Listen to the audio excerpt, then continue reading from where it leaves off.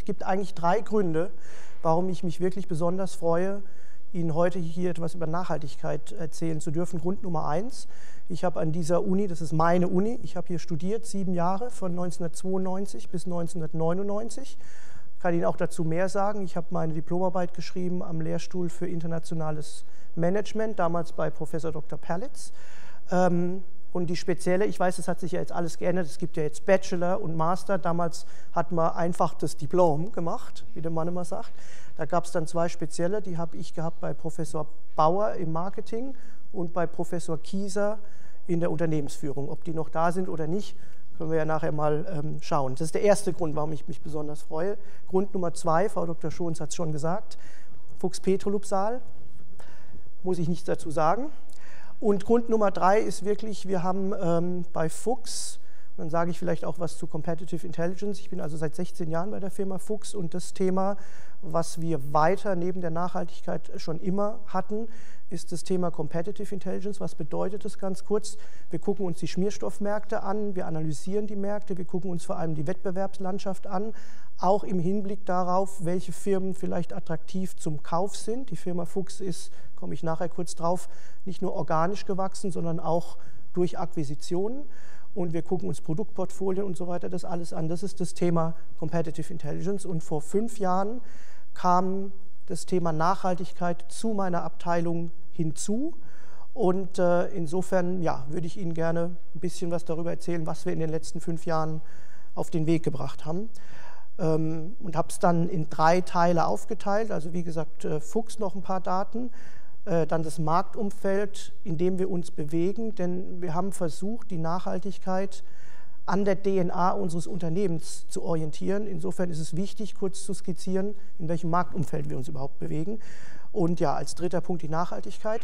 Was ähm, charmant ist für diese Woche, es war eine, ohne jetzt da ähm, auf die Tränendrüse zu drücken, eine relativ anstrengende Woche. Wir haben nämlich dieses ähm, Jahr unser Global Management Meeting, was wir einmal im Jahr haben, etwas später gehabt, im April. Das fand Anfang dieser Woche statt.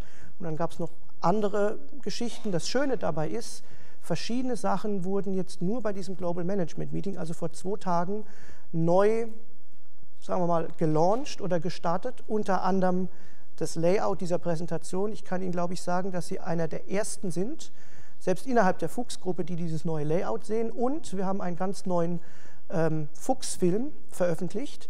Den hat, glaube ich, auch innerhalb der Fuchs-Gruppe noch kaum einer gesehen. Und ähm, ich kann den heute mit Ihnen teilen und insofern tue ich das jetzt. Wie wird aus einem Ein-Mann-Betrieb ein weltweit führendes Schmierstoffunternehmen?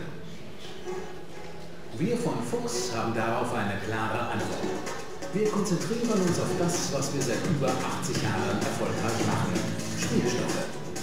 Wir verstehen die Anwendungen und Prozesse unserer Kunden und schätzen die Menschen, mit denen wir zusammenarbeiten. Lubricants, Technology, People. Dieser Dreiklang bildet seit 1931 den Kern unseres allen Gesellschaften der Fuchsgruppe gelebt. Weltweit fokussieren wir uns zu 100% auf unser Kerngeschäft, die Entwicklung, Herstellung und den Vertrieb von Schmierstoffen und verwandten Spezialitäten.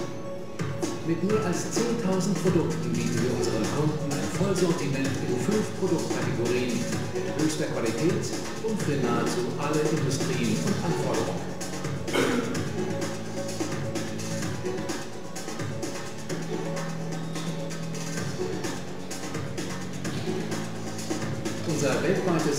Expertennetzwerk für Forschung und Entwicklung arbeitet gemeinsam an ganzheitlichen Schmierstofflösungen für die vielfältigsten Anwendungen unserer Kunden. Innovativ prozessorientiert und maßgeschneidert. Wir bündeln interdisziplinäres Know-how schnell und effizient und investieren bereits heute in die Schlüsseltechnologien von morgen.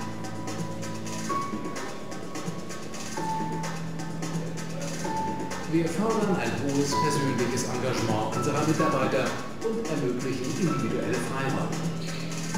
Wir verstehen uns als ein Team und treten für ein faires, offenes und partnerschaftliches Miteinander ein.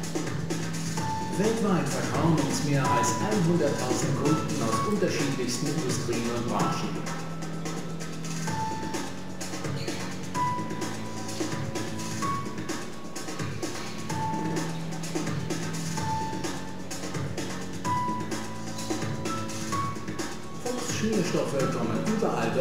Einsatz, wo es darum geht, Reibung zu reduzieren und Kraftübertragung zu optimieren. Unsere Produkte erfüllen höchste Qualitätsanforderungen. Sie reduzieren Materialverschleiß und Ölverbrauch auf ein Minimum, halten höchsten thermischen Belastungen stand und maximieren Laufzeiten und Wechselintervalle. Sie schützen zuverlässig vor Korrosion und Ablagerungen, helfen Kraftstoff zu sparen und CO2-Emissionen zu verringern. Sie sind lebensmittel- und umweltverträglich und vieles mehr. Fox Schmierstoffe stehen für Leistung und Nachhaltigkeit, für Sicherheit und Zuverlässigkeit, für Effizienz und Kostenersparnis. Sie stehen für ein Versprechen. Technologie, die sich auszahlt. Ganz gleich, welche Anforderungen an unsere Schmierstoffe gestellt werden, wir bringen für jede Anwendung das passende Produkt zum Einsatz. Tag für Tag entwickeln wir das Potenzial von Schmierstoffen weiter. Wir sind mehr als ein Lieferant von Schmierstoffen. Wir sind Lösungsanbieter, Entwicklungspartner, Ideengeber und Innovationstreiber und sind erst dann zufrieden, wenn unsere Kunden, Lieferanten, Geschäftspartner und Investoren uns als ihren Partner für Schmierstoffe bezeichnen. Lubricants, Technology, People. Fox. So, das ist der Film. Wenn Sie sich fragen, warum guckt er so gespannt selber immer auf den Film, wie gesagt, der ist brandneu, habe den jetzt auch erst einmal gesehen und äh, der liegt auch auf Englisch vor und ähm, ist ganz ordentlich geworden, wenn ich das sagen darf.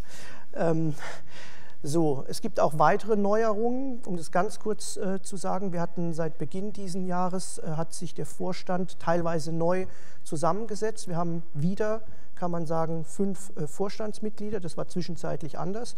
Und äh, unten aufgeführt sind zwei neue ähm, Vorstandsmitglieder. Und ich möchte Ihnen nur ganz kurz sagen, ähm, wer für was verantwortlich ist, weil das hatten wir auch lange Zeit anders strukturiert. Also Ganz links der Stefan Fuchs ist der Vorstandsvorsitzende und ist verantwortlich für Strategie, Unternehmensentwicklung und regional. Wir haben also eine typische Matrix-Organisation in der äh, Fuchs-Struktur.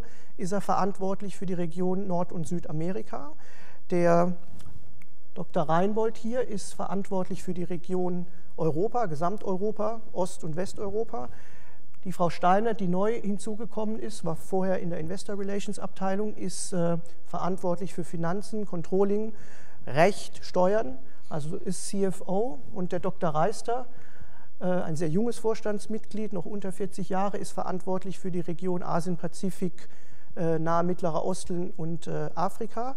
Und ich habe jetzt nicht einen vergessen, aber den möchte ich gerne zum Schluss erwähnen. Das ist nämlich mein Chef, der Dr. Lindemann. Der ist verantwortlich für die ganzen Bereiche Technik, Supply Chain und Nachhaltigkeit. So ist also der Vorstand von äh, unseren Unternehmen zusammengesetzt. Und ähm, ich denke mal, Sie können sich oder haben sich vielleicht schon auf unserer Homepage informiert über die Firma und da sind auch die ganzen äh, Finanzinformationen drin und wir haben unseren Geschäftsbericht und unsere Finanzzahlen jüngst veröffentlicht. Deswegen langweile ich Sie jetzt nicht mit, äh, mit, mit zu vielen Zahlen. Aber es gibt so eine Gesamtpräsentation, die ein paar Key Facts zusammengefasst hat. Also es ist ein Unternehmen, was in der dritten Generation jetzt ja von einem Familienmitglied geführt wird. Der Stefan Fuchs ist der Enkel des Unternehmensgründers. Wir sind, wir sagen immer gerne, ein familiengeführtes, aber börsennotiertes Unternehmen. Unsere Aktien sind äh, im MDAX gelistet. Wir haben 5000 Mitarbeiter, das war noch vor einem Jahr anders. Wir haben zwei große Akquisitionen gemacht im vergangenen Jahr, sind knapp 900 Mitarbeiter hinzugekommen. Wir sind die Nummer eins in der Welt der konzernunabhängigen Schmierstoffhersteller. Was das bedeutet, habe ich später eine Folie, da kann ich Ihnen das besser erklären. Das ist für das Marktumfeld ganz interessant zu wissen. Wir haben erstmalig die Umsatzschwelle von 2 Milliarden Euro überschritten im Jahr 2015. Wir haben 50 Gesellschaften weltweit, davon sind 33 Produktionswerke. Ähm, und ein Garant aus meiner Sicht, nach 16 Jahren Fuchs, da kriegt man auch so ein bisschen den Geist mehr und mehr mit. Aus meiner Sicht, der auch immer das Wettbewerbsumfeld anschaut, kann ich Ihnen sagen, ein Garant für unseren Erfolg, den wir haben, ist auch die Tatsache, dass mehr als 50 Prozent der Stammaktien von der Fuchsfamilie gehalten werden. Und äh, wir haben ein Sortiment von ungefähr 10.000 äh, Schmierstoffen und verwandten Spezialitäten. Und ich hatte es eingangs schon erwähnt, ich möchte Ihnen ein paar Slides zeigen zum Marktumfeld, weil das interessant ist und wichtig ist, um zu verstehen, wie wir Nachhaltigkeit bei Fuchs aufgebaut haben. Die Zahlen müssen Sie sich, glaube ich, nicht unbedingt merken, aber das Interessante hier ist, wenn man sich das anguckt, das ist also der Weltbedarf an Schmierstoffen, der Weltmarkt an Schmierstoffen und man kann eins eigentlich schon sagen, dass wenn man sich die letzten sieben, acht Jahre anschaut, da gibt es nicht so viel Bewegung auf der Mengenseite. Also im Prinzip könnte man sagen, der Markt ist bei 36 Millionen Tonnen gerundet im Jahr 2015 und da war er auch schon im Jahr 2007. Das Spannende eigentlich ist die regionale Dynamik und was unterhalb dieser 36 Millionen passiert ist. Das Phänomen hat man ja auch in anderen Märkten, also die Zusammensetzung ist völlig anders. Die Region Asien-Pazifik gewinnt mehr und mehr an Volumen dazu, an Bedarf dazu und im gleichen Maße verlieren die sogenannten Reifenmärkte in Westeuropa, Osteuropa und in Nord- und Südamerika an Menge. Und die Botschaft, die ich Ihnen da nur mitgeben möchte, ist, viele, auch wenn ich andere Präsentationen mal in der Branche halte, denken, oh, heißt es, äh, die Wichtigkeit von Europa nimmt ab und die Musik spielt nur noch in Asien. Ganz so einfach ist es nicht, denn der Bedarf in Asien steigt mit zunehmender Motorisierung. Je mehr Industrialisierung und Motorisierung in Märkten ist, umso mehr Schmierstoffe werden gebraucht. In den Reifenmärkten ist es so, dass der Drang und der Hang sehr stark zu Qualitätsschmierstoffen geht. Man kann sich vorstellen, wenn Motorenöl hochtechnologisch und qualitätsreicher ist wie früher, bleibt es länger im Motor, die Ölwechselintervalle werden länger, das heißt der Schmierstoff ist qualitativ hochwertiger, aber dadurch geht der spezifische Bedarf in einem Jahr zurück. So gesehen kann man sagen, es ist mehr Qualität in diesen Reifenmärkten dahinter, die Menge geht dann dementsprechend runter. Und die Qualität in diesen ähm, Wachstumsmärkten oder Emerging Markets steigt. Es gibt auch mehr Leute, die jetzt ein Auto fahren, die vor zehn Jahren noch keins fahren konnten und insofern wächst da dann der Bedarf. Und in Summe sind wir bei einem stagnierenden Markt von 36 Millionen Tonnen. Man sieht es auch hier ganz kurz. Der Pro-Kopf-Schmierstoffbedarf in der Welt ist 5 Kilogramm. Also jeder von uns in diesem Raum verbraucht im Schnitt 5 Kilogramm Schmierstoffe. Wenn er Auto fährt, wenn er die Tür irgendwo aufmacht, da sind auch Schmierstoffe drin. Also im Schnitt verbrauchen wir 5 Kilogramm Schmierstoffe. Aber Sie sehen ja, dass es zum Beispiel in Nordamerika, das hängt auch sehr viel mit dem Konsumentenverhalten dort äh, zusammen, ähm, der Durchschnittsamerikaner verbraucht halt immer noch knapp 20 Kilogramm und der Europäer, beides reife Märkte, halt fast die Hälfte. Und hier sehen Sie, der Chinese und der Afrikaner nur ein Kilogramm. Das heißt, da ist eine Menge Potenzial für Wachstum. Und ähm, wenn man das mal runterbricht auf die größten Schmierstoffländer, das sind die 20 größten Schmierstoffnationen der Welt. Das ist, glaube ich, keine Überraschung. Bei welchem Ranking ist China eigentlich nicht führend? Ähm, und die USA ist der zweitgrößte Markt. Interessant ist, um nur eine Sache zu sagen, wenn Sie jetzt hier so eine Linie ziehen würden, was den Pro-Kopf-Verbrauch angeht, dann ist es interessant, dass das zweitgrößte Land den äh, zweithöchsten Pro-Kopf-Verbrauch hat, aber das größte Land den zweitniedrigsten Pro-Kopf-Verbrauch von diesen 20 hat. Das ist auch wieder so ein Indikator für Wachstumspotenzial. Was wir dann gemacht haben, ich habe eingangs auch gesagt, wir gucken uns die Wettbewerbslandschaft an und äh, das ist zwar eine alte Folie, die hört bei 2005 auf, aber ich habe sie ganz bewusst aus zwei Gründen hier drauf gemacht. Einmal, weil ich Ihnen die Struktur der Industrie erklären kann. Und Nummer zwei, wir haben das quasi in der Intelligence bei Fuchs vor zehn Jahren als Studie gemacht. Und zwar nicht nur allein, sondern ähm, mit Knowledge Agent. Das war von der Perlitz Strategy Group, so ein Spin-off von drei äh, Kollegen, die äh, zusammen mit uns diese Studie gemacht haben. Und da haben wir versucht zu ermitteln, wie viele Schmierstoffhersteller gibt es denn überhaupt weltweit und wie viele davon sind sogenannte Majors und wie viele davon sind sogenannte Independents. Und das ist die Erklärung für, wir sind der größte unabhängige Schmierstoffhersteller.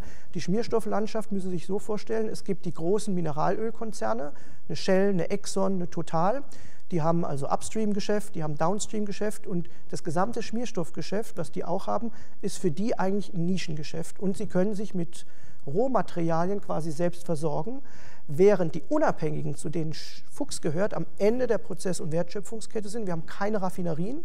Wir müssen also alle Rohstoffe, Grundöle, Chemikalien, Additive, daraus wird ein Schmierstoff gemacht, hinzukaufen. Und deswegen unter diesen Unabhängigen sind wir der Größte. Aber im Konzert der gesamten Schmierstoffhersteller sind wir in den Top 10, da sind wir auf Platz 9. Und ähm, noch ein, ich gehe mal kurz zurück, noch ein Wort zu dieser Studie. Ich kriege nämlich sehr oft die Frage, wenn ich das äh, sehe, das ist ja hochinteressant. Ah, man sieht da die Konsolidierung in der Schmierstofflandschaft, da gab es eine Menge Konzentration, vor allem bei den mittelständischen. Und Sie sehen ja, die Anzahl hat sich hier bei den ähm, mittelständischen und kleinen Schmierstofffirmen fast halbiert innerhalb von fünf Jahren. Also wir haben ungefähr 700 Schmierstoffhersteller am Ende von 2005 gehabt. Und die Frage, die ich immer bekomme, ist, ja, das ist ja hochinteressant, aber wir sind elf Jahre weiter, wenn ich es jetzt mal salopp sage. Das, das braucht kein Mensch. Ja? Dann sage ich ja. Aber wir wollen halt nicht einfach eine Zahl aus der Hüfte schießen. Wie gesagt, da ist eine Studie dahinter und äh, man kann nicht einfach extrapolieren. Ein Professor hier, ich weiß nicht mehr, wer es war, hat mir damals schon gesagt, do not extrapolate. Das war ein Gastprofessor von den USA. So einfach ist es nicht, denn natürlich gab es hier weitere Konzentrations- und Konsolidierungsbewegungen, aber wir haben ja einen Cut gemacht, wenn Sie hier unten mal schauen. Wir haben natürlich nur die gezählt ab einem gewissen Volumen.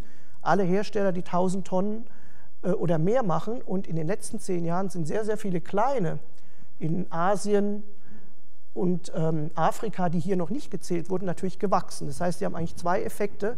Konzentration auf der einen Seite, auf der anderen Seite kleine, die groß werden. Und ich kann Ihnen nicht sagen, ob das jetzt 300 sind, 500 oder vielleicht sogar wieder 700. Es wäre vielleicht mal an der Zeit, eine neue Studie zu machen in Kooperation mit ähm, der Uni Mannheim. Also das ist die Zahl, mit der wir leben. Was wir dann wenigstens anbieten, wenn ich in der Branche mal Vorträge halte, ist dann, was wir gemessen haben, ist, wie viele M&A-Deals in der reinen Schmierstoffindustrie gab es dann. Also Sie sehen, es gibt äh, nicht so viele. Im Jahr 2015 gab es 18 reine Übernahmen oder Auflösungen in der Schmierstoffindustrie. Und ja, wir sind ein bisschen stolz, sagen zu können, dass zwei von diesen 15 oder 18 ähm, konnten wir erreichen. Wir haben zwei große Firmen, eine in Schweden und eine in, ähm, in Hamburg in Deutschland akquiriert. Und insofern müssen wir mal schauen, ob wir vielleicht die Studie irgendwann wiederholen. Das ist das, was ich gesagt habe. Das ist meine letzte Folie zum Umfeld. Dann möchte ich über Nachhaltigkeit sprechen. Aber Sie sehen ja hier, das sind die Top 20 Schmierstoffhersteller und die ersten neun nee, Entschuldigung, die ersten acht, das sind alles die bekannten Größen, die auch im Tankstellengeschäft sind, die Rohöl fördern, die Mineralölprodukte machen. Und auf Platz 9 kommt dann halt eben der erste unabhängige Schmierstoffhersteller, der ist dann Fuchs. Nur um das zu Ende zu führen, der zweite größte Unabhängige ist dann zum Beispiel hier eine Firma Valvolin, die vielleicht bekannt ist, die sehr stark äh, in den USA tätig ist. Letzter Punkt noch zur Intelligence und zur Wettbewerbslandschaft. Im Moment, damit meine ich so die letzten zwei, drei Jahre, ist da sehr, sehr, sehr viel Bewegung in der Wettbewerbslandschaft, denn der Schmierstoffindustrie, denn es verändern sich viele Sachen. Ich will nicht zu arg ins Detail gehen, aber es gibt zum Beispiel viele große, die sich aus Nischengeschäften zurückziehen. Es gibt wieder Möglichkeiten für kleine Firmen wie Fuchs, Sparten aufzukaufen. Dann gibt es sehr viele neue Marktteilnehmer, die bis vor fünf Jahren noch überhaupt nicht in der Schmierstoffindustrie tätig sind, zum Beispiel aus der Zuckerindustrie kommen, aus Brasilien. Der größte Zuckerhersteller hat vor fünf Jahren begonnen, sich zu überlegen, Mensch, Schmierstoffindustrie, interessant, äh, könnte ich ja Geld verdienen und kauft dann sehr viele kleine Firmen auf. Wir haben also sehr viele neue Marktteilnehmer. Wir haben auch Restrukturierungen bei den Großen, die einzelne Schmierstoffdivisionen als, ja, ich sage es mal auf Englisch, Standalone Unities aufstellen, weil die denken, damit können die mehr erreichen. Wir haben auch hier, was ich Globalisierung, NOC steht für National Oil Companies. Also wenn Sie denken an so Märkte wie Russland oder China, da gab es nationalstaatliche Konzerne wie so eine PetroChina oder eine Lukoil, die vor fünf, sechs Jahren nur auf ihren Heimmärkten tätig waren und dann gesagt haben, Mensch, ich könnte ja auch mal nach Afrika gehen, ich könnte ja auch mal nach USA gehen. Also das äh, bedeutet Globalisierung.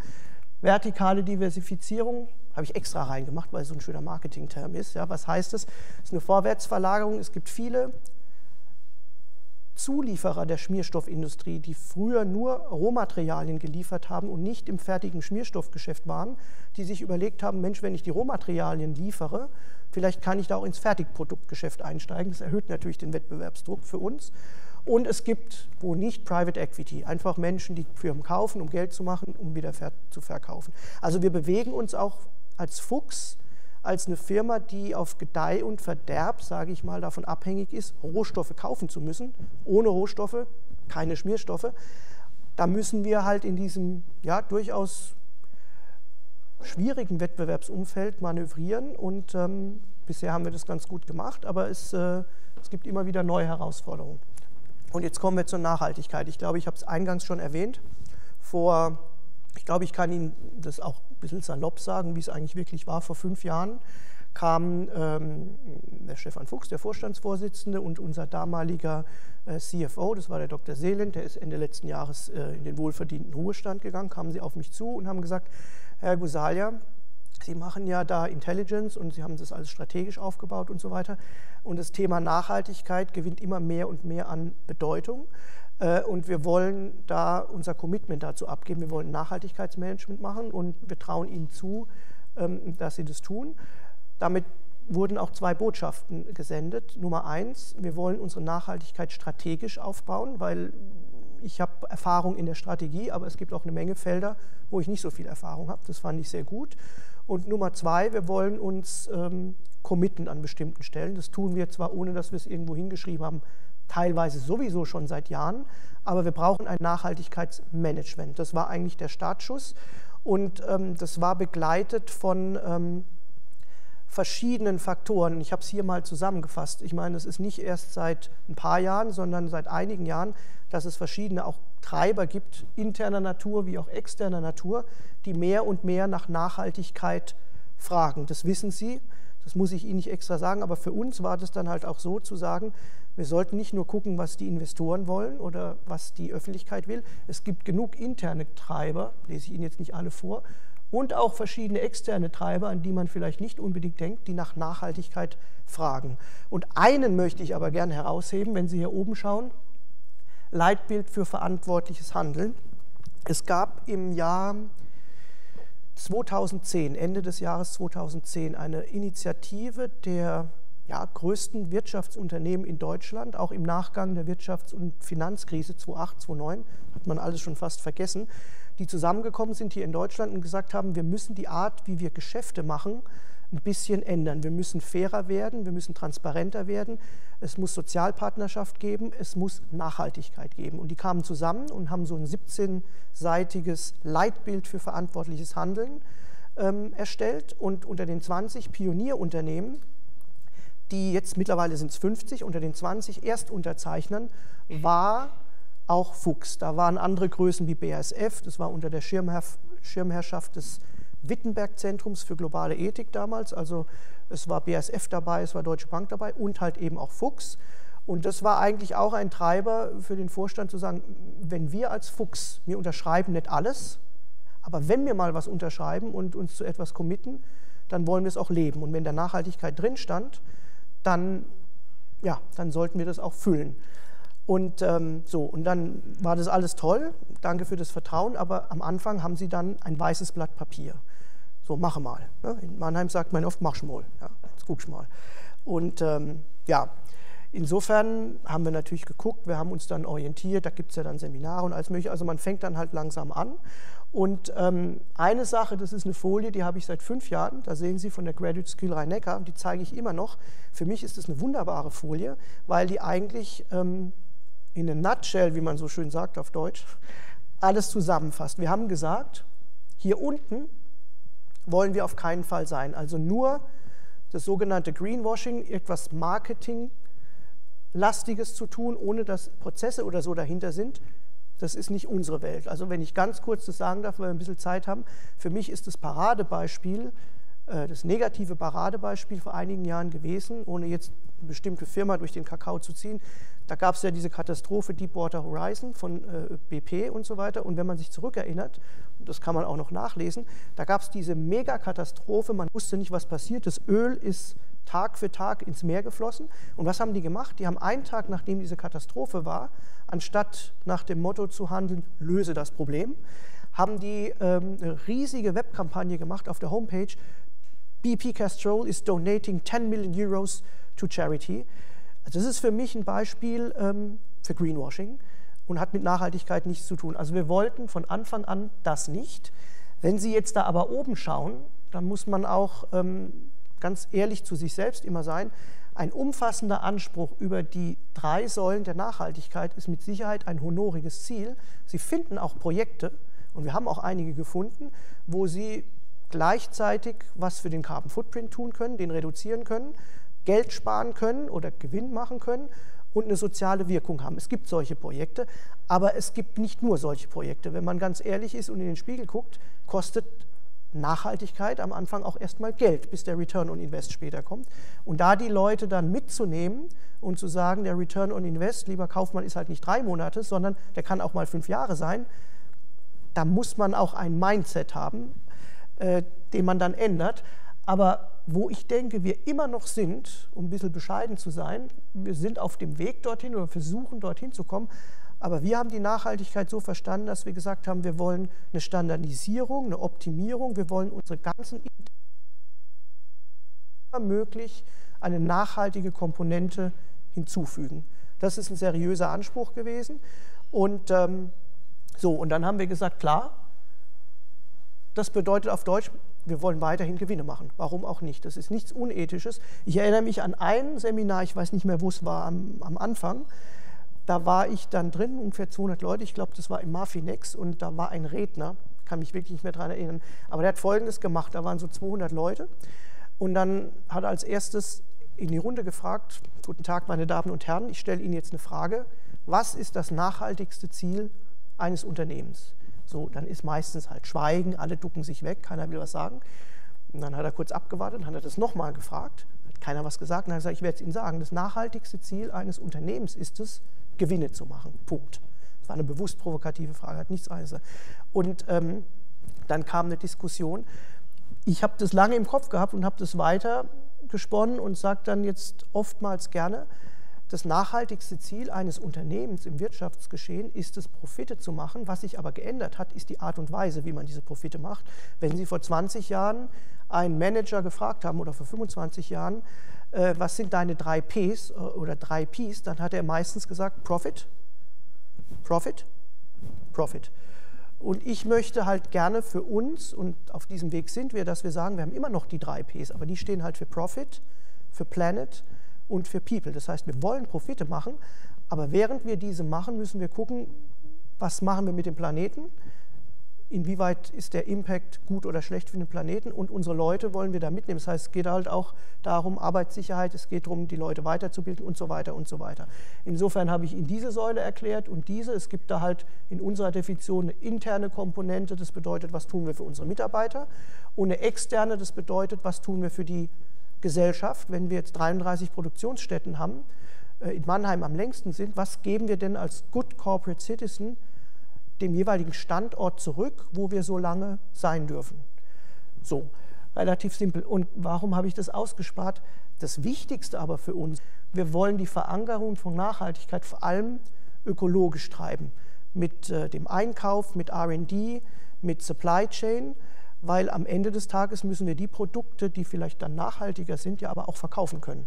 Und ähm, der Kunde ist natürlich nicht immer, überall, vor allem nicht im B2B-Geschäft, momentan noch bereit. Der fragt nach Performance und nach Preis und ähm, nach Nachhaltigkeit nicht unbedingt. Das hätten wir gerne alle anders, mit Sicherheit, aber es ist halt so, wie es ist. Performance muss stimmen und Preis muss stimmen. Und das mit der Nachhaltigkeit kommt halt eben. Im B2C-Bereich ist es schon da, Textilindustrie und so, da steigt der Druck. Und ich sehe das bei uns auch kommen. Also wir haben gesagt, unsere Produkte müssen nachhaltig sein. Und was bedeutet das überhaupt? Wir haben gesagt, unsere Produktionsprozesse müssen nachhaltig sein. Von den Lieferanten, die wir kaufen, die müssen Nachhaltigkeitskriterien erfüllen. Und die Lieferung, das heißt die Produkte, die wir von denen kaufen, die Rohmaterialien, müssen auch Nachhaltigkeit haben.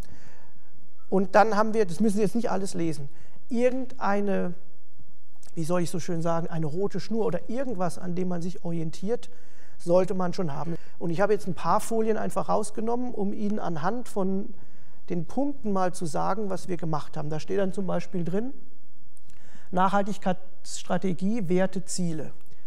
Dieser Satz wurde gesagt vor mehr als 80 Jahren vom Unternehmensgründer und der stand drin in unserer 75-jährigen Chronik. Und anhand dieses Satzes hat der Unternehmensgründer Rudolf Fuchs damals begonnen, nicht nur einfach Schmierstoffe zu verkaufen in Mannheim, sondern er hat gesagt, ich will qualitativ hochwertige Schmierstoffe, die gab es in Deutschland nicht, also hat er sie aus USA importiert. Das war quasi der Beginn von Fuchs Schmierstoffe. Das benutze ich immer ganz gerne, weil ähm, ich wirklich denke, da hat jemand eine Vision gehabt und ein Credo und das sollte man im Rahmen der Nachhaltigkeit, das kommt uns ja sogar entgegen, weiterführen. Und da haben wir dann gesagt, so, aber wie fangen wir es denn jetzt an? Und da gibt es ja dieses berühmte äh, Stichwort, deswegen ich komme ja hier von der Uni und ich bin teilweise dann auch digital veranlagt. Wenn Sie von der Uni kommen, ohne Zahlen geht es nicht, ja, ist so. Und ähm, was wir nicht messen können, können wir nicht managen und was wir nicht managen können, können wir nicht optimieren. Und da es halt keine Key Performance Indikatoren gab, mussten wir halt welche schaffen. Also wir haben insgesamt 16 Key Performance Indikatoren etabliert und die von unseren Gesellschaften melden lassen. Davon waren vier ökonomische, auf die möchte ich jetzt nicht so arg eingehen, denn ganz ehrlich, da haben wir das Rad nicht neu erfunden. Da haben wir aus dem ganzen Set von Finanzindikatoren vier ausgewählt, die eine nachhaltige Wirkung haben. Da ist zum Beispiel drin der Fuchs Value Added, das ist unsere zentrale Kennzahl, da ist der EBIT drin, ja, wir wollen Profite machen. Da ist auch das Nettoumlaufvermögen drin, um mal was zu sagen, weil wir wollen nicht nur einfach Profite machen, wir müssen auch unsere Kapitalkosten im Blick haben. Und da ist auch die Dividendenentwicklung drin, denn unsere Shareholder sollen auch nachhaltig bedient werden und teilhaben an unserem Geschäftserfolg. Fuchs, wenn ich das einmal sagen darf, so ein bisschen Werbung darf man ja machen, ist seit 85, 1985 an der Börse und hat nicht nur in jedem Jahr konsequent eine Dividende gezahlt, auch in der Krise, sondern hat bis auf zwei Ausnahmen Jahr um Jahr diese Dividende auch erhöhen können. Also nur um mal zu sagen, wir haben vier ökonomische Kennzahlen genommen, wir haben vier ökologische genommen, die zeige ich Ihnen gleich, und, vier, und, und acht soziale. Unter den ökologischen ist zum Beispiel die Entwicklung des Energieverbrauchs gewesen. Wie viel Energie verbrauchen wir für die Produktion von einer Tonne Schmierstoff? Und ich, ich möchte Ihnen jetzt schon sagen, salopp, die Zahl dahinter, ich sage Ihnen auch gleich warum, für mich ist das auch mehr oder weniger strahlegal, ob da jetzt 240 stehen oder 280, weil solange Sie kein Benchmark haben, was denn eine gute Zahl für unsere Gesamtindustrie ist, und das gibt es nicht. Wir sind leider, sage ich, das einzige Schmierstoffunternehmen der Welt mit Schmierstoffen als Kerngeschäft, was diese Zahlen veröffentlicht. Das ist dann zwar toll, Sie kriegen viele Schulterklopfer, Mensch, prima. Ich von der Competitive Intelligence Seite sehe das als kleines Problem, weil ich habe überhaupt keine Möglichkeit, das zu benchmarken. Ist das ein guter Wert oder ein schlechter Wert? Es nützt mir nichts, wenn ich das vergleiche mit der BSF oder mit der Henkel. Insofern ist es zwar toll, dass wir KPIs haben, aber Sie können die KPIs immer nur werten, wenn Sie eine Referenzgröße haben. Also, aber Sie können sich, wenn Sie wollen, merken, der Ölfuchs verbraucht 250 Kilowattstunden an Energie, wenn er eine Tonne Schmierstoff herstellt. Ja. Was viel wichtiger ist, ist, wo gehen wir hin und wie reduzieren wir das? Ich muss mich dafür entschuldigen, ich habe einige Folien auf Englisch, weil die kommen teilweise direkt von den Gesellschaften und ähm, die habe ich jetzt nicht übersetzt. Aber was haben wir gemacht zur Energiereduktion? Zum Beispiel äh, ist es ein Beispiel aus den USA. Man hat einen Ingenieur an die Hand genommen und hat gesagt, jetzt geh mal durch das ganze Schmierstoffwerk und guck mal an, wo man Isolierungen anbringen kann, wo vorher keine sind und rechnen das mal alles durch. Und Sie sehen ja, man hat es gemacht, es hat Geld gekostet, aber der Payback war halt dann eben 15 Monate und nicht vielleicht drei Monate oder sechs, wie es der Betriebswirt gerne hätte. Aber dann habe ich das einmal investiert und das spare ich ja jedes Jahr ein. Also ich habe ein bisschen Geld ausgegeben und dafür habe ich aber nachhaltig Energie gespart. Das finde ich ein sehr schönes Beispiel. Und äh, wenn ich jetzt auf Wasser komme, zweiter Indikator bei uns ist Wasser, gehe ich auch schnell drüber. Also wir verbrauchen ungefähr 500 Liter Wasser für die Produktion von einer Tonne Schmierstoff. Was bedeutet das? Ist ein guter Wert oder ein schlechter? Keine Ahnung. Kann ich Ihnen sagen, keine Ahnung. Aber was wir machen können, ist zu versuchen, auf diesem Niveau runterzukommen. Ceteris paribus bei gleichem Output. Ganz kurzer Hinweis zu diesem Wert, was man natürlich auch immer beachten muss, warum ist es so extrem gestiegen oder wieder runtergegangen. Es gibt bei uns bei den Schmierstoffwerken auch immer Portfolioverschiebungen und je nachdem, welche Produkte sie produzieren, brauchen sie mehr Wasser, zum Beispiel Kühlwasser, äh, oder weniger Wasser. Das heißt, es ist nicht, da hat jemand äh, den Hahn nicht abgedreht, ja, sondern, sondern da gab es extreme Portfolioverschiebungen und dann haben wir es aber trotzdem geschafft, beim neuen Portfolio das wieder fast auf den Ausgangswert runterzubringen. Aber das ist ein schönes Beispiel zur Wasserreduzierung. Wir haben da ein Fett, ein Grease Reactor heißt, wir kochen Fette, da brauchen Sie Kühlwasser. Und am Anfang hat man halt einfach Wasser genommen, den Reaktor gekühlt oder das, das Fett plant gekühlt und das Wasser ist direkt ähm, ins Abwassersystem gelaufen. Also das ganze System war so ausgelegt, dass es kühlt und ins Abwasser läuft. Dann haben die gesagt, nee, das ist ja eigentlich Quatsch. Vielleicht können wir da so einen Zwischentank installieren, wo das heiße Wasser aufgefangen wird. Und wenn es abkühlt, dann zirkuliert es wieder in den Prozess zurück und wir müssen nicht alles verschwenden. Das haben die gemacht, das hat auch geklappt und hat es reduziert. Nichtsdestotrotz war es so, dass man immer mehr Wasser gebraucht hat, als der Tank Zeit hatte, das warme Wasser abzukühlen. Das heißt, man musste immer noch eine geringe Menge ins Abwassersystem leiten, verschwenden. Und dann hatten die eine wunderbare Idee und deswegen ist das für mich ein wunderbares Beispiel für Nachhaltigkeit. Dann haben die gesagt, Mensch, Moment mal, wir haben doch so viele Schmierstoffe, die auf wasserlöslicher Basis sind, wo sie nichts anderes als Wasser brauchen, um den Schmierstoff quasi zu stellen. Warum nehmen wir denn nicht einfach das Wasser aus diesem Tank, wenn es natürlich eine entsprechende Konsistenz hat, und produzieren damit einen Teil unserer Schmierstoffe, wo es geht. Und das haben die gemacht. Und deswegen war das für mich, als ich es gesehen habe, ein wunderbares Beispiel für Nachhaltigkeit in Verbindung mit Wasserreduzierung und unserem Geschäft. So, und da gehe ich noch schneller drüber. Im Prinzip kann man hier sagen, ja, wir haben auch Abfall, 30 Kilogramm pro Tonne, mal 31, mal 32, sagt mir auch nichts, weil ich nicht weiß, was meine ganzen anderen Schmierstoffhersteller im Wettbewerbsumfeld für Zahlen haben. Ähm, wichtiger für mich ist dann wieder, wie spare ich denn Abfall? Auch ein englisches Beispiel, also wenn Sie so einen Schmierstofftank haben, müssen Sie sich vorstellen, wo Sie verschiedene Öle mischen, dann muss dieser Tank dann auch für den nächsten Prozess gesäubert werden. Das hat man in der Vergangenheit oder macht man halt sehr oft mit sogenannten Spülölen, wo der Tank dann gereinigt wird und diese Spülöle sind Abfall. Und dann hat man jetzt hier am Standort Mannheim gesagt, Mensch, wenn, wenn ich da jetzt bestimmte Tanks habe, die eine ganz glatte Oberfläche haben, die auch so, einen, ja, so eine konische, ja, wie sagt man, eine konische Oberfläche haben, dann brauche ich vielleicht keine Spülöle und man braucht sie nicht. Man hat da dann praktisch so ein Zirkulationssystem, was mit Druck Luft in diese Tanks pumpt und langsam sich absenkt und so reinigen sie die Tanks, ohne Spülöle zu verwenden. Auch ein schönes Beispiel für Abfallreduzierung.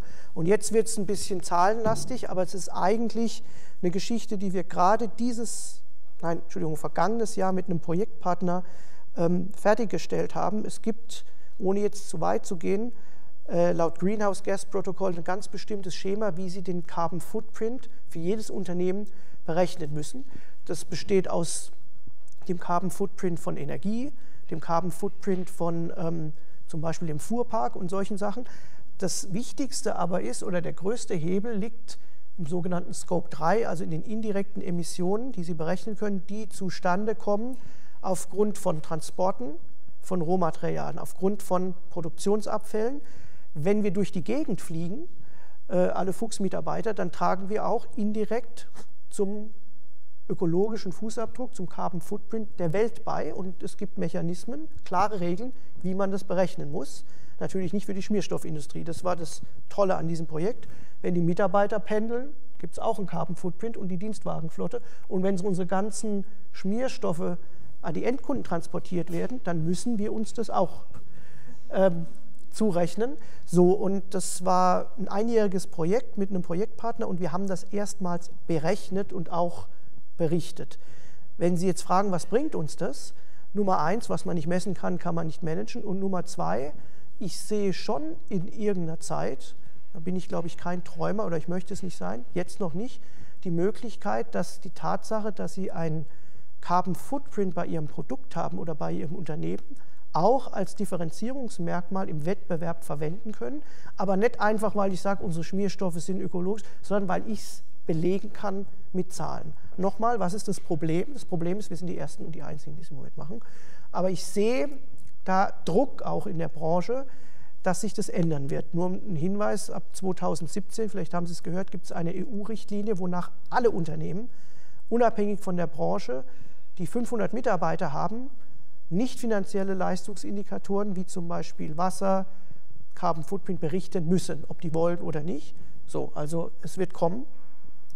Da kann ich mal drüber hinweggehen. Wir haben auch unsere gesamten Weltfuhrparks ausgestattet mit CO2-Richtlinien, sodass bestimmte Fahrzeuge nicht mehr äh, bestellt werden können. Sie können sich vorstellen, wenn Sie schon vorher keine Freunde im Konzern vielleicht hatten, ja, äh, äh, bei sowas geht dann auch der Letzte, weil mit Dienstwegen und sowas ist alles emotional. Äh, alles emotional. Ne? So, ja, dann gibt es natürlich Leute, oh, jetzt kommt der jetzt auch, jetzt kann ich das nicht mehr bestellen und so weiter. Wobei das halt auch gar nicht stimmt, denn gerade im Premium-Bereich wird schon per se über die Jahre ja versucht, weil ja auch die Automobilhersteller Druck bekommen, diese CO2-Werte zu reduzieren. Das heißt, am Ende des Tages war es viel Rauch um nichts. Es war nicht so, dass alle ihr Auto abgeben mussten. Nee, nur wir haben bei den Neubestellungen halt bestimmte CO2-Limits ähm, gesetzt und die haben wir uns nicht ausgedacht, sondern es gibt diese Behörde da unten, die weltweit landesspezifisch ja diese Werte vorgibt. Ob die Werte so bleiben oder nicht, müssen wir nach dem VW-Skandal jetzt abwarten. Da ist ja sehr viel in Bewegung gekommen. Aber wir haben hier auch versucht, die CO2-Werte zu reduzieren. Dann zum Thema Umsetzungsinstrumente. Es gab eine Menge Codes und Guidelines, da gehe ich jetzt mal schnell drüber, die es ohnehin bei uns schon gab. Und da geht es halt darum, dass man sein Geschäft ordentlich führt. Das hat für mich aber mit Nachhaltigkeit nur sehr wenig zu tun. Viele beschränken Nachhaltigkeit nämlich auf Code of Conduct und wir haben keine Kinderarbeit, das ist alles richtig.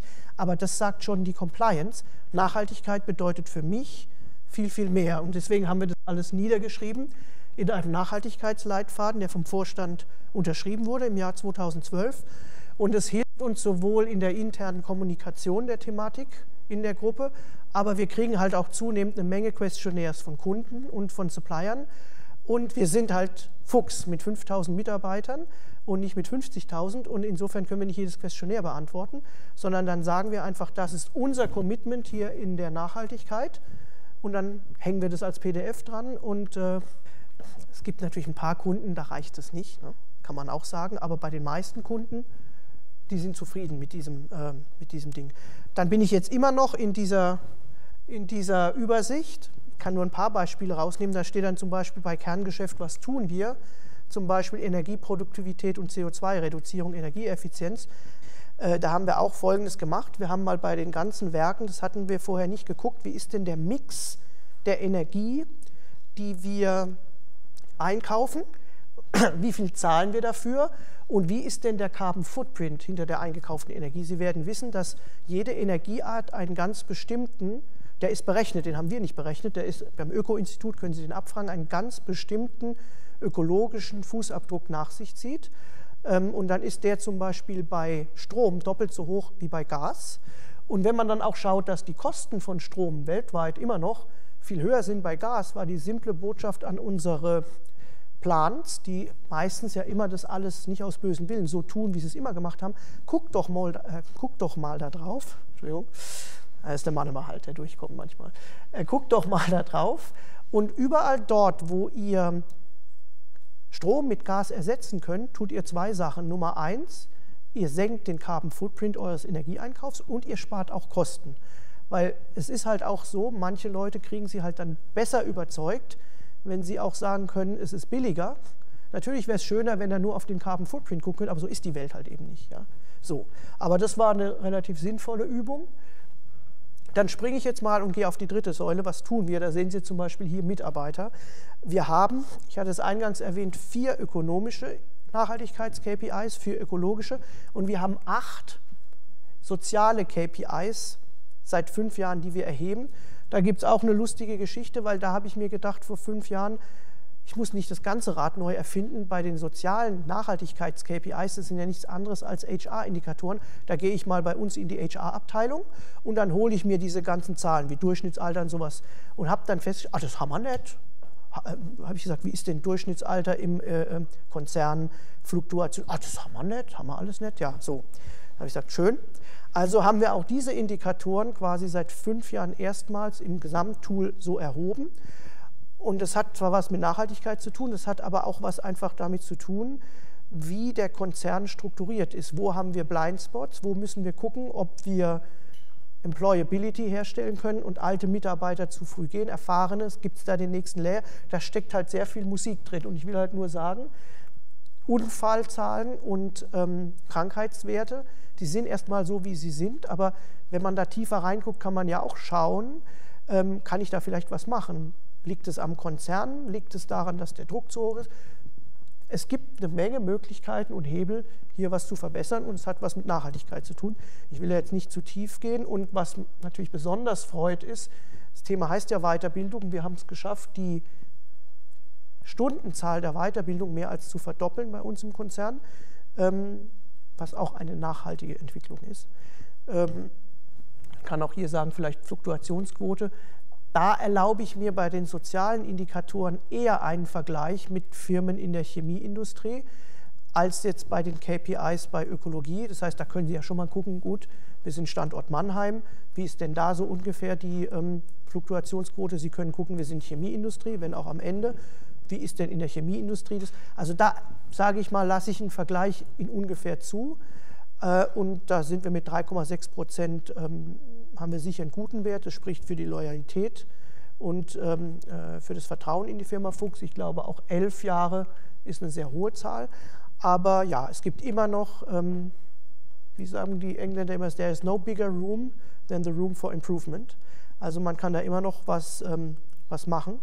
Und dann komme ich jetzt mal kurz auf die Lieferkette. Das sind ja alles Punkte von diesem, was tun wir, von dem Gerd Hofil und äh, Code of Conduct für Lieferanten. Das ist uns insofern wichtig, weil wenn Sie 100 Prozent der Rohstoffe von externen kaufen, und Sie Nachhaltigkeit sich auf die Fahne geschrieben haben, dann müssen Sie auch ein bisschen darauf achten, von wem kaufe ich denn da und was kaufe ich denn da. Insofern haben wir halt, wie Sie es hier sehen, alle unsere Schlüssellieferanten gefragt. Wir bekennen uns zum Code of Conduct bei Fuchs und zur Nachhaltigkeit. Tust du das auch? Bei den Schlüssellieferanten war es ehrlich gesagt kein Problem, weil das sind die großen Mineralölkonzerne, die selber unter dem Radar sind. Das heißt, da haben wir eine hundertprozentige Rücklaufquote gekriegt und alle haben sich committed. Natürlich haben nicht alle unseren Code of Conduct unterschrieben. Das tun wir auch nicht, wenn unsere Kunden das fragen.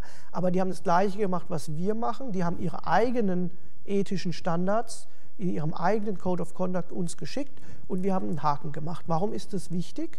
Weil wir von unseren Kunden auch oft gefragt werden in Questionnaires, Ihr habt Nachhaltigkeit, Fuchs, das glauben wir euch, aber wie sichert ihr denn die Nachhaltigkeit in der vorgelagerten Wertschöpfungsstufe? Und dann können Sie den Zettel zumindest rausholen und können sagen, wir sind nicht zu den Plans gegangen, das können wir auch nicht immer, aber wir können sagen, wir haben ein Blatt Papier in der Hand und immerhin haben die unterschrieben. Das ist was, was wir vorher nicht hatten. Bei den lokalen Lieferanten in China und so weiter, da war es schon schwieriger, die hatten nichts ähm, in der Hand. Die sind auch nachhaltig, aber die mussten erst mal gucken, die mussten es zusammenschreiben.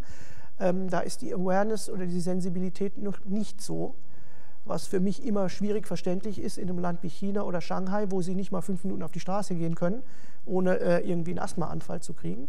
Da sage ich halt immer, wenn man sagt, ja, in China und in dem und dem Land, da es, äh, spielt es keine Rolle, sage ich Vorsicht. In China ist die Mentalität ja immer so, wenn da mal von ganz oben der Schalter umgelegt wird, dann wird es durchexerziert überall und zwar ganz schnell. Dann muss alles nachhaltig sein und dann sind wir besser vorbereitet, als dass wir dann ähm, nicht mehr hinterherkommen. Das nur mal als Randbemerkung. Ja, und wir gucken uns auch bei neuen Lieferanten jetzt mehr mit einer Checkliste an. Sorgst du für Sicherheit? Wie nachhaltig ist dein Produkt? Hast du einen Code of Conduct? Und ähm, letzte Rubrik, ähm, gesellschaftliche Wirkung, was tragen wir bei. Wir haben auch bei verschiedenen Initiativen und vor allem bei unserem eigenen Branchenverband, dem Verband, wo ist er denn? Ja, in der Mitte, der Schmierstoffindustrie, sind wir dabei, mit denen zu sprechen. Da gibt es auch noch kein Nachhaltigkeitsbekenntnis in dem Sinne. Und ich kam ja vorhin auf die Standards und die Benchmarks und wir versuchen jetzt zusammen mit den anderen Firmen einen Nachhaltigkeitsstandard und Benchmark für unsere Industrie zu entwickeln. Denn wie gesagt, es macht keinen Sinn, wenn wir uns immer mit der Mineralöl- oder Chemieindustrie vergleichen. Wir brauchen unsere eigenen Standards und die gibt es halt eben noch nicht. Letzter Punkt dazu. Wir tun das nicht nur alleine zum Selbstzweck. Wir haben, da, wir haben mit sehr viel, sind wir in die Vorreiterstellung gegangen. Warum machen wir das? Weil, die Frage kriege ich auch oft vom Vorstand, ja, das ist alles gut, aber kriege ich manchmal die Frage, ja, meinen Sie nicht, Herr Gosalia, wir teilen ein bisschen zu viel, wir machen die Arbeit für andere mit. Und dann sage ich, doch, das tun wir, aber es nützt uns später nichts, wenn wir als einziges Schmierstoffunternehmen uns auf die Schulter klopfen können, das haben wir alles. Und die EU kommt dann und will aber einen Branchenstandard haben. Und wenn wir uns keinen schaffen, davon bin ich fest überzeugt, dann schaffen die uns einen.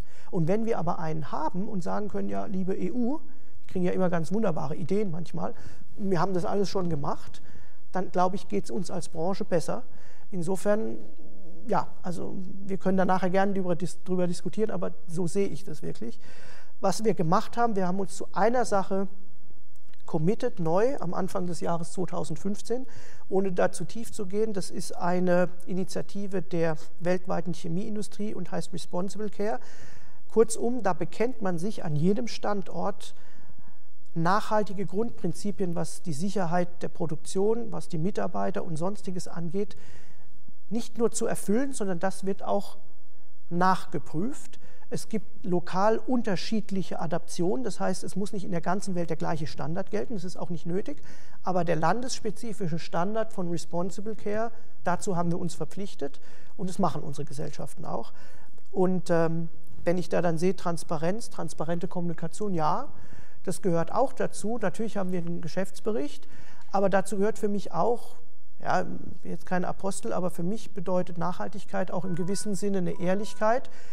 Wir müssen nicht immer das berichten, was gut gelaufen ist. Es gibt auch bestimmte Prozesse, die am Anfang vielleicht daneben gehen und dann ist es keine Schande, sondern dann berichtet man, wo wir noch nachjustieren müssen.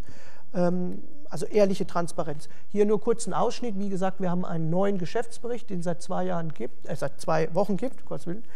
Und äh, wir haben eine Homepage und da gibt es verschiedene Informationen. Was ich sehr schön finde, unter anderem beim neuen Geschäftsbericht, der heißt weltweit Maßstäbe setzen. Das gehört eben genau zu dem, was ich vorher sagte. Das wollen wir auch bei der Nachhaltigkeit tun und normal soll man ja nicht zu viel Text in eine Folie schreiben.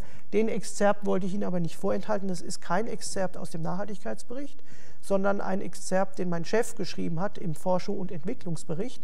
Und es sind zwar nur sechs Zeilen, aber es steckt eine Menge Musik drin, denn da haben wir auch öffentlich uns bekundet und auf die Fahne geschrieben, es gewinnt an Bedeutung, wir haben Ziele, es wird ein Spezifikationsbestandteil zukünftig für Schmierstoffe sein und wir wollen das und das und das tun. Also das ist für mich ganz wichtig. Und äh, im Prinzip geben wir auch mit unserem neuen Brand Warehouse, das gibt es wirklich nur seit zwei Tagen, ein Versprechen ab, ähm, dass wir halt eben nicht nur für Sicherheit und für Effizienz, sondern auch für Nachhaltigkeit mit unseren Produkten sorgen wollen. Da bin ich jetzt ganz am Ende. Das ist auch die letzte Kette, Entwicklung Zivilgesellschaft. Natürlich haben wir bürgerschaftlich bürgerschaftliches Engagement oder Corporate Citizenship. Also wir haben mal erhoben, welche Art und wo unsere weltweiten Gesellschaften das einsetzen, wobei ich auch sage, es tun viele schon vieles bei uns in der Gruppe, aber es gibt auch viele größere, die noch mehr tun können. Und das sagen wir dann auch, wenn wir die Gesellschaften besuchen. Ähm, das habe ich mir erlaubt, jetzt reinzumachen, ähm, weil also unser Team für die Intelligence und für die Nachhaltigkeit besteht in Anführungszeichen äh, aus drei Menschen. Das sind die drei. Und ähm, deswegen freue ich mich jetzt aber auch gleich, wenn ich auf die Frau Feller kurz verweisen darf nochmal. Die ist Werkstudentin bei mir und äh, hat vorher ein Praktikum gemacht. Also es sind fest diese drei. Wir arbeiten aber auch sehr viel, sonst geht es einfach nicht, mit Werkstudenten und äh, mit äh, Diplomanten, Praktikanten zusammen. Im Moment ist es auch seit zwei Jahren wirklich so, dass zwei Stellen mitunter permanent irgendwie im Jahr auch besetzt sind. Es sind nicht immer die gleichen, aber sonst geht es einfach nicht. Und äh, was noch dazu kommt, es gibt ja nicht nur die Holding und Mannheim, sondern was wir gemacht haben, wir haben in jeder unserer 23 Produktionsstätten sogenannte LSOs, Local Sustainability Officer, etabliert, die quasi zu mir oder zu uns ein Counterpart sind, die mir Hinweise geben, Impulse wo ich aber auch dann teilweise sagen kann, habt ihr das und das schon gehört, da kommt das und das auf uns zu und wir tauschen uns aus. Ich habe mit meinem ehemaligen Mitarbeiter in den letzten zwei Jahren alle Produktionsstätten besucht in der ganzen Welt und wir haben da jeweils so ungefähr einwöchige Sustainability Meetings gemacht mit der Geschäftsführung, damit da eine gewisse Awareness auch da ist und ähm, das ist da ganz gut gelaufen. Und was wir auch haben seit drei Jahren, ist ein sogenanntes Fuchs Sustainability Committee, ähm, was zwei, drei Mal im Jahr zusammenkommt, wo wir bestimmen und verabreden, was wollen wir denn noch tun. Auch diese Zusammensetzung ist für mich wichtig. Da ist der Chef der größten Produktionsstätte dabei. Es ist als Repräsentant des Sales und Vertrieb. Wir haben keinen Global Sales Director, aber die OEM-Sparte ist für ein Drittel unserer Sales verantwortlich. Wie gesagt, ich muss ja das auch irgendwie verkaufen können. Nicht im Sinne des Marketings oder des Greenwashings, aber ich muss es ja auch dem Kunden erklären können. Es ist der Einkauf drin, ganz wichtig, es ist RD drin und äh, der Dr. Lindemann ist ab und an mal dabei, nicht immer. Und äh, das ist mein letztes Slide. Ähm, das haben wir uns mal selber so zusammengestellt. Was wollen wir in der Zukunft erreichen? Für mich geht es halt vor allem darum, dass wir nicht die einzelnen Säulen nur betrachten und dort weiterkommen. Es geht darum, schaffen wir es zum Beispiel ökonomisch, ökologisch was zu tun. Das Beispiel mit der Energie ist da ein gutes. Ich kann auf der einen Seite den Carbon Footprint senken und auf der anderen Seite auch die Kosten senken und energieeffizienter sein. Das ist eine Sache. Wenn Sie mich jetzt fragen, sozial, ökonomisch, ich habe es vorhin kurz erwähnt, wir haben natürlich Unfälle und Krankheitstage. Und wenn man da ein bisschen tiefer reinguckt, jeder Unfall und jeder Krankheitstag kostet Geld. Man kann das ja alles monetarisieren. Wie lange steht da irgendwas still? Natürlich gibt es dann Ersatz. Was kostet mich das alles? Das haben wir noch nicht gemacht, aber da gibt es Möglichkeiten. Und Suffizienz zum Beispiel, wenn Sie Carsharing-Programme einführen, das ist für mich ein Beispiel, wo Sie auf der sozialen Ebene einen Wandel herbeiführen und ähm, ökologisch hat es natürlich auch einen Sinn. So, so viel von meiner Seite. Vielen Dank für Ihre Aufmerksamkeit.